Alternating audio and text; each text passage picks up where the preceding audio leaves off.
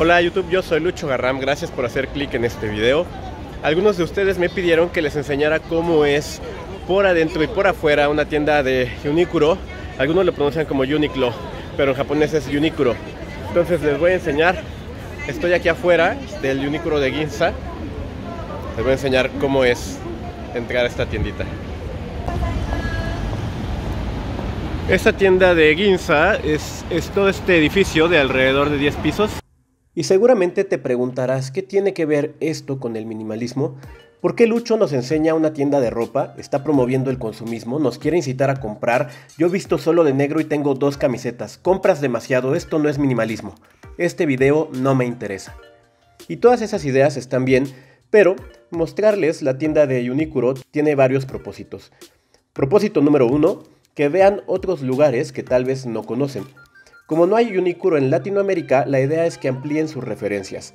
Para muchos de mis espectadores en Latinoamérica, Sara es carísimo y piensan que las tiendas de marca son generalmente caras, inalcanzables y por tanto las rechazan de inmediato.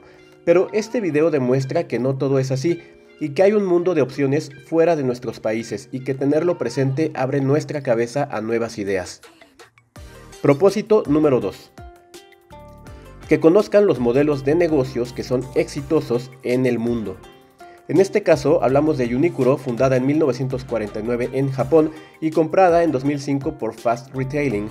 Su cadena de tiendas consta de más de 2.000 unidades en 19 países del mundo y actualmente tiene poco más de 50 tiendas en Estados Unidos. Unikuro está proyectado para rebasar en tamaño de ventas y de tiendas en los próximos años a Zara y ya que la mencionamos, podemos decir que esa competencia se da gracias a la diferencia de estilos de venta, ya que Sara vende prendas que responden al fast fashion, a las tendencias de la moda, que son fácilmente descartables y se posiciona como una marca de gama alta pero con precios accesibles, abriendo tiendas en ubicaciones súper concurridas de las ciudades donde se instala, por otro lado, Unicuro produce prendas más simples y prácticas a partir de la demanda de sus consumidores y no de empujar una tendencia. No gasta dinero en publicidad, sino en abrir nuevas tiendas físicas y por lo tanto sus clientes son diferentes. Son personas que buscan prendas que sean fácilmente combinables y que sean útiles en el largo plazo. Propósito número 3. Hablar de minimalismo.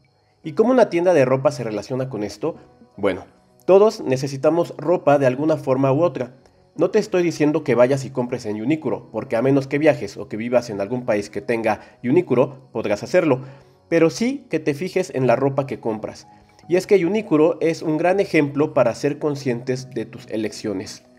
Una de las grandes razones que han hecho que Unicuro sea tan interesante para Occidente es que sus prendas son resultado del diseño y gusto japonés, particularmente ofreciendo un estilo sencillo, que es lo que en Occidente denominaríamos minimalista, prendas monocromáticas, lisas o sin estampados, a precio bajo y de gran duración, frescas para el verano o térmicas para el invierno. Particularmente he usado la ropa térmica y te puedo decir que cumple con eso que podrías llamar prenda de calidad. Bueno, bonito y barato. Por ejemplo, las camisetas de algodón comienzan sus precios en 9 dólares y las más caras son de 18 dólares. Hay jeans de alta resistencia por 25 35 dólares y así podría seguirme.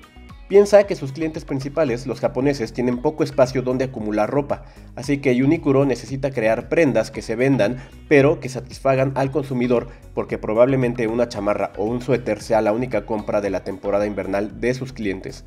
Es decir, se enfoca en compras más inteligentes que no responden a las tendencias del fast fashion, sino de las necesidades reales del usuario. Por si fuera poco, en Japón Unikuro es tax free, así que no pagas el VAT o impuesto al valor agregado IVA, por lo cual ahorras todavía un poco más. Ah, y por si fuera poco, el dueño y fundador de este imperio minorista, Tadashi Yanai, de 70 años, dice que le gustaría que su reemplazo como CEO fuera una mujer porque son perseverantes, orientadas a los detalles y tienen sentido estético desde su punto de vista. De hecho, se rumora que una de las candidatas más fuertes es Maki Akaida, jefe de operaciones en la unidad más rentable de Unikuro en Japón. Digo, por si estabas buscando un ejemplo real de equidad de género. Es todo por este video. Déjame saber qué opinas sobre la información que te he presentado. ¿Conoces Unikuro? ¿Has comprado algo en esta tienda? Te invito a que en tu próximo viaje te des una vuelta por la tienda y cheques aspectos de lo que se puede entender como calidad en sus productos, como la textura de las telas, los precios, la calidad de las costuras y los diseños. Probablemente te vuelvas fan de la marca. Si te interesa saber más sobre minimalismo y la cultura japonesa, checa la lista de reproducción sobre el tema. Te dejo los links abajo en la descripción de este video. Yo soy Lucho Garram. Nos vemos la próxima vez que tenga algo interesante que contarte. Chao.